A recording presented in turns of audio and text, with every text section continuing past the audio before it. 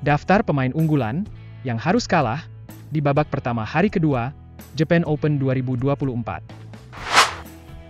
Ganda putra unggulan yang harus kalah di babak pertama adalah He Jiting, Ren Xiangyu, yang kalah dari ganda putra Chinese Taipei, Fang Chihli, Fang Zhenli, dengan skor 21-14, 8-21, dan 17-21, dalam durasi 59 menit.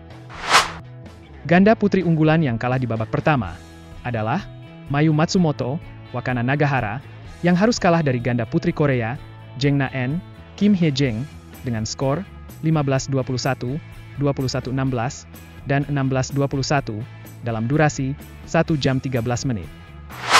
Ganda campuran unggulan yang juga kalah di babak pertama adalah Go Son Huat, Lai Shevon Jemie, yang harus kalah dari ganda campuran Cina, Cheng Xing, Zhang Qi, dengan skor 12-21 dan 18-21 dalam durasi 38 menit.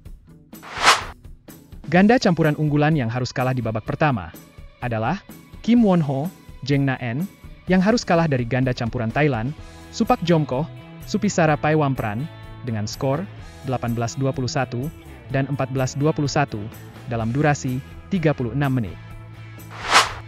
Tunggal putra unggulan asal Denmark, Anders Antonsen, memutuskan untuk retire saat melawan pemain India, Sathis Kumar Karunakaran, saat kedudukan skor 1-6 di game pertama.